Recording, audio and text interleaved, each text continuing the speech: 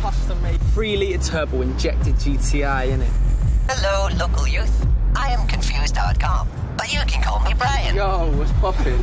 I have run the details of your sensible 1.1 litre hatchback through my circuits, resulting in a saving of £366 on your car insurance.